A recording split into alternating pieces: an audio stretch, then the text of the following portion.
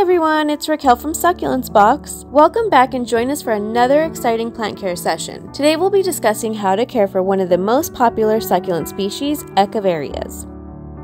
Caring for Echeverias is incredibly easy. They also make fantastic ground covers in rock gardens and can be incorporated into beautiful plant arrangements. Now let's learn how to keep your Echeverias happy and healthy. Echeverias are safe for pets and humans as they are non-toxic, which means you can keep them at home without worrying about your furry friends.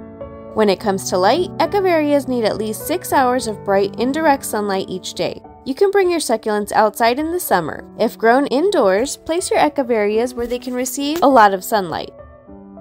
The best spot for them is near a south-facing or west-facing window, but if this isn't an option, just put them near a window that gets the most light. Insufficient lighting can make these succulents lose their rosette shape and become leggy. In spring to summer, keep the potting mix slightly moist by watering deeply and regularly, allowing the soil to dry out in between. In late fall to winter, water sparingly and let the soil dry out completely. Water echeverias once every week to 10 days, but you should always check the soil moisture first. Overwatering and waterlogged soil can cause plenty of problems, so you need to make sure that the soil is completely dried out before watering. Temperature wise, most echeverias are non hardy succulents that can't survive cold temperatures. They prefer temperatures between 65 and 70 degrees Fahrenheit and don't like it when it drops below 50 degrees Fahrenheit.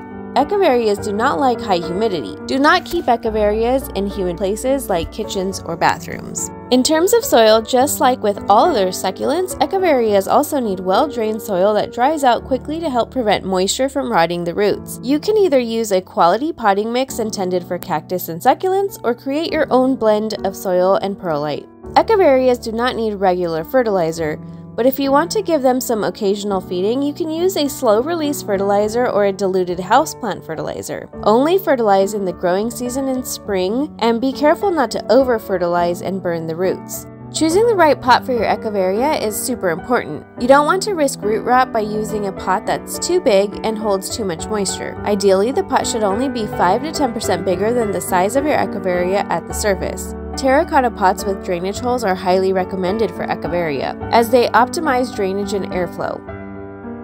When it's time to repot your Echeveria, it's best to do it just before the growing season so it has time to settle in. And make sure to choose a pot that's at least 10% larger than its previous one so it has enough space to grow. Propagation of Echeveria can be done in various ways, but the easiest method is through leaf propagation.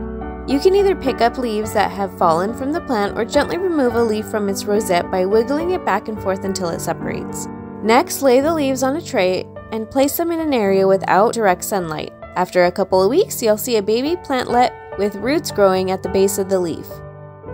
At this point, you can plant a new plantlet in the fresh soil and mist it every few days. Eventually, the original leaf will dry out, and you'll be left with a new healthy Echeveria plant. Echeverias have stunning bell-shaped flowers that bloom for around two weeks during the growing season. They come in shades of pink or orange and can contrast perfectly with the cool tones of the leaves. If you want your succulents to bloom, just place them under bright sunlight and in warm temperatures, but if you don't want your echeveria to bloom, no worries. Just use a pair of clean, sharp scissors to trim the flower stem off at the base.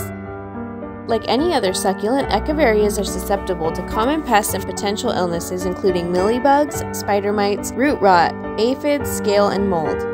Moreover, these plants are especially susceptible to mold growth and root rot if watered improperly. Always make sure to water your echeveria with a water bottle or through a bottom watering and avoid getting leaves wet just to be safe. That's it for today's video, everyone. Thank you so much for watching. If you enjoyed this video, please leave us a like and consider subscribing for more content. If you've got any questions or recommendations, please leave in the, in the comment section below. For more, you can find us at succulentsbox.com or on YouTube, TikTok, Facebook, Instagram, and Pinterest.